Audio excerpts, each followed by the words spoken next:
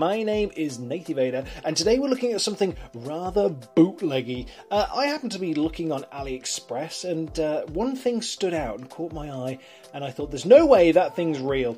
Uh, so I hit the buy it now button, and eight days later, it arrived.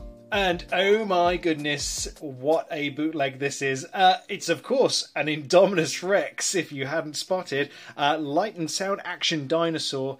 Um, wow.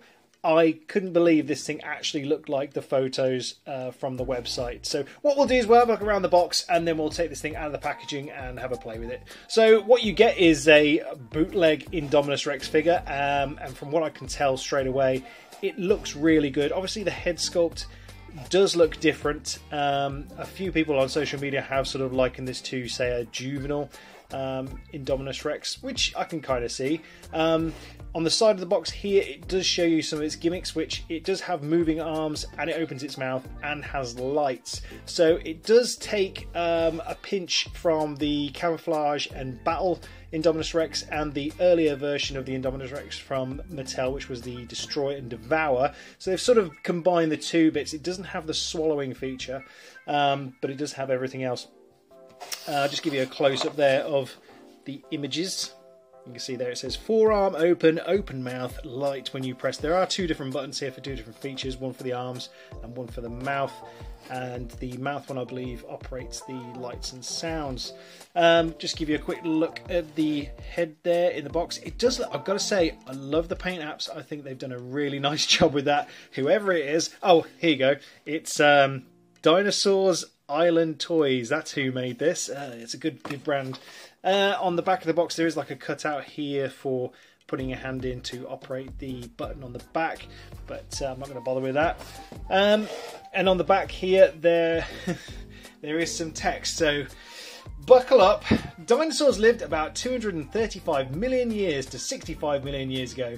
Hind legs to support the body, upright type of animals. Dominate the global terrestrial ecosystems more than 160 million years. Most dinosaurs have become extinct, but the descendants of dinosaurs, birds, to survive and reproduce. Dinosaurs from 5 million to 65.95 million years ago. Hind legs to support the body upright type of terrestrial animals is a group of diversified advantages. Well, that was a mouthful. okay, well, take that information uh, if you if you want to.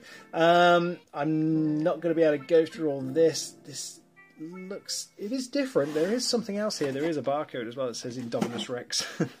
um, oh my! It's it's very similar text there, but very um, broken English. And uh, on this side, you have got some more pictures of the Indominus Rex in action. Um, don't know about the sway. It definitely doesn't have sway. I know it has upping, uh, open and closing mouth features, but that's about it. Uh, the forearms do open and close, and uh, the, there we go. It's just the open mouth and light again there. It just has a couple of things they're saying. I've got to be three plus, and I've got to have a horn and possibly a star. Um, well, I'm definitely three plus, so I don't think I've got a horn though. Uh, and I love the stolen artwork there from Fallen Kingdom uh, with Rexy. Um, and on the top of the box, uh, don't forget to install. I don't think you need anything, um, maybe like Windows 95 or something like that, at least to install this tail. Um, and again, there it just says Light and Sound Action Dinosaur. And a bit of, uh, they've even got a bit of stone sort of effect or salt flat looking uh, ground there inside the box. So they have gone, you know, uh, quite out their way to package this thing. So uh, without further ado, I think what we'll do is get this thing out of the box.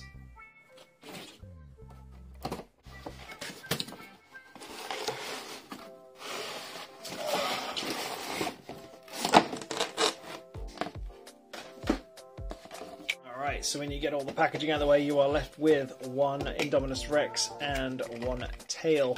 Um, the tail uh, has a bit like the Tyrannosaurus Rex bite and fight sort of uh, tail going on there.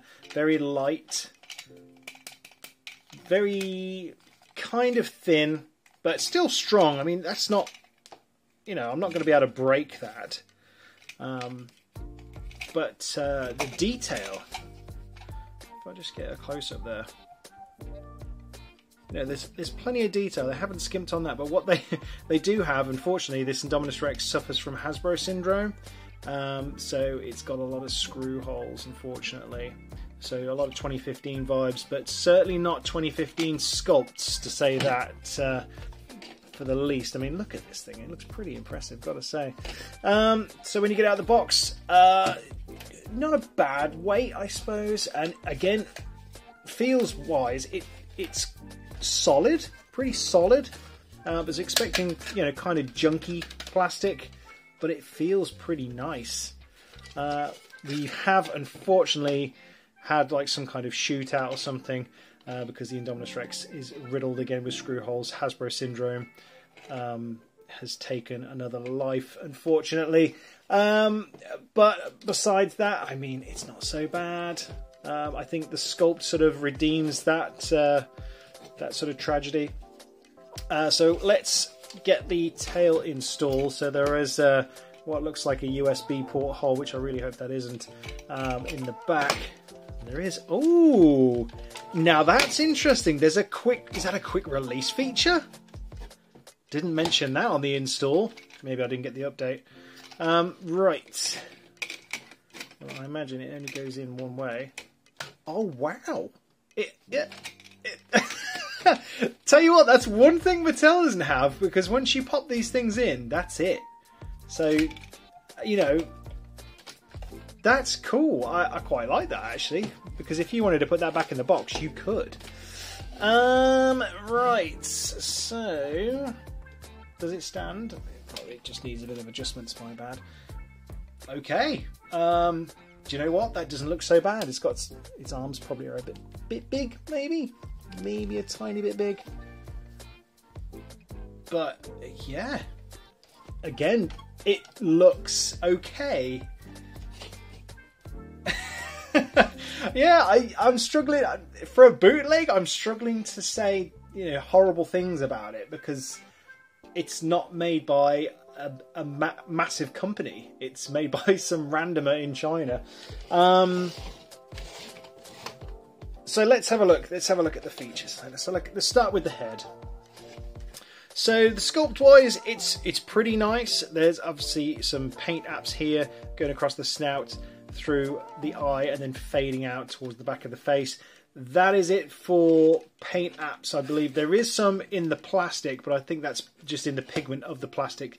They've managed to chuck some of these uh, these grey spots into the plastic. It doesn't look like it's paint to me. But that is all over the body. There isn't anything else at all. It's just the head. Um, inside the mouth, you do have it's very similar to the genuine Indominus Rex figure. You've got uh, a molded section top and bottom of the mouth, and you do have a rubber tongue, which I think is amazing. Probably play with that for too long. Uh, the eye, if I can get that to focus, is painted pretty well. Just check the other side to make sure I haven't been scammed. No, it looks looks pretty good, and the teeth as well have been painted very nicely. Not too sharp, but like I say, it is sort of based off maybe the Destroy and Devour more than the more recent version, but it sort of shares a bit of both. Um, but not bad at all. Uh, the head is a little bit wide, maybe, but not too bad. But again, like really nice sculpt and loads of detail all over, like all the, the bumps and crests all over this thing are really nice, uh, even down to the rippling here behind the arm. Uh, the arms do have joints. Um, they do have 360 rotation in and out, and also, obviously, with this action feature,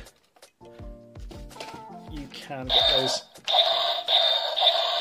that grabbing feature that they did boast about on the box, and you have got the lights as well.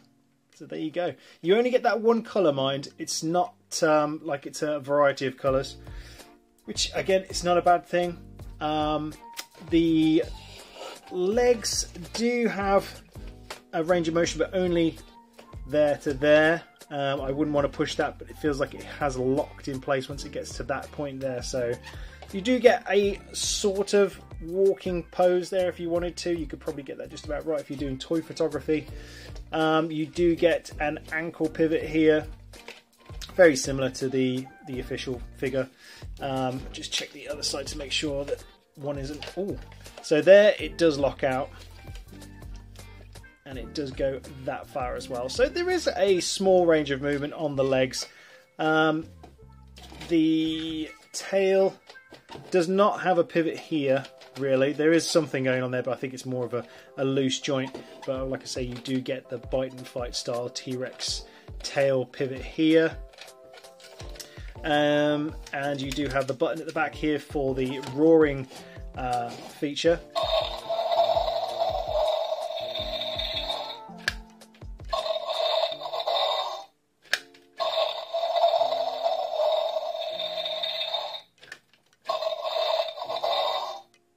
So it's only two sounds, and it sounds like to me that it's um, some of the dev- uh, Destroy and Devour sound clips, but heavily compressed as well. So um, it's definitely the official sounds, but they've been sort of watered down. Um, and the, the, lights are pretty cool as well, and they do last a little bit longer than I thought they were going to. Um, but that's about it, really. I suppose what we could do is just bring in what it's actually meant to look like, and well, you know, this guy is, you know, miles ahead. I mean, I think he is a pretty impressive figure. Just a, really evil looking face, I've got to say. Uh, but you could say, yes, it is like a juvenile of the official one. Uh, there is obviously more detail going on here with the spikes on the back of the neck there, um, and more definition in the face.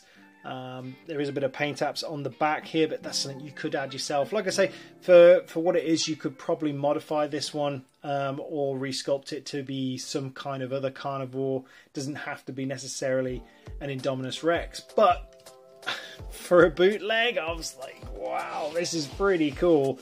Uh, lengthwise, it's actually not far off the same as the Indominus Rex, the official Indominus Rex. I'd probably say, looking at that, it's about, I don't know, five centimeters shorter in tail length. But that's mainly down to this section here. If this was longer, I think you would have made up that uh, that missing uh, length there for the tail. But the the arms, I think they've pretty much used the same forearm. Um, there's a little bit of difference, but it's not far off. Um, but they haven't scaled it down. Uh, it's it looks a little bit too big for this body, I think. Uh, but not terrible. But you can see there's something going on. Like this, this here just looks a bit too big. I think personally, um, and they haven't got any bumps here on the top of the hip to the legs. So there is there is some bits that are missing, some bits that are inconsistent. But uh, again, it's not terrible. Um, I think it's pretty epic for a bootleg.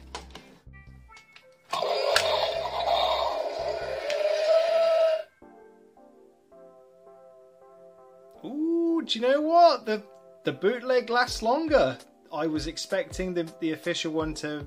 Oh my! It's still going.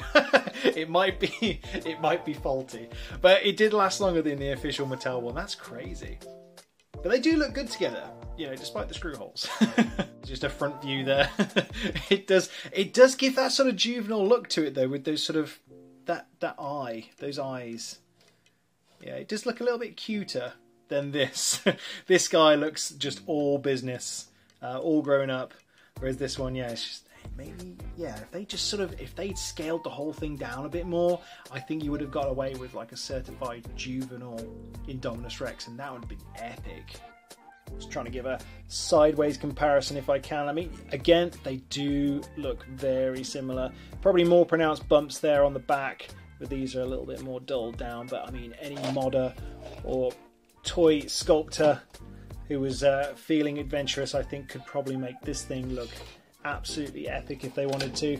On the feet themselves as well, you do have painted toenails, which it's pretty good because some Mattel figures recently have come without painted toenails, which is a little bit annoying.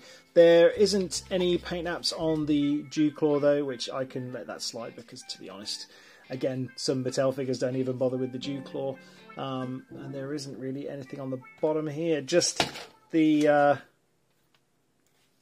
made in China logo, which I was expecting. And uh, you can also see underneath the belly here, there isn't any paint apps, but there is the speaker here and the battery pack. And it came with batteries as well, which I thought was absolutely amazing. So on to the price.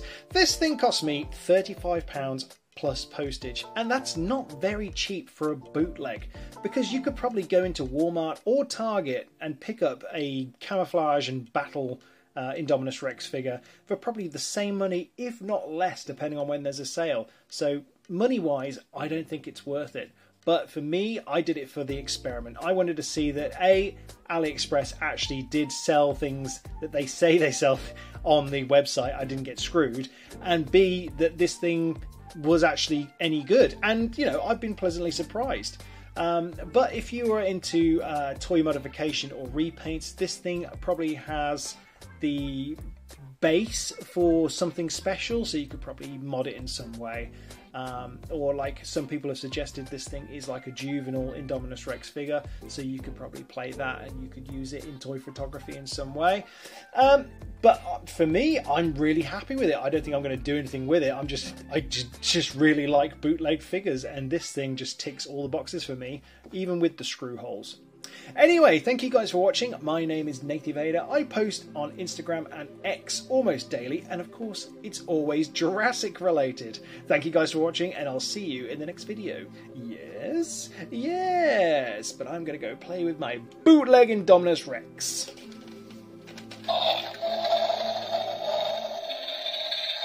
Uh. oh, sorry.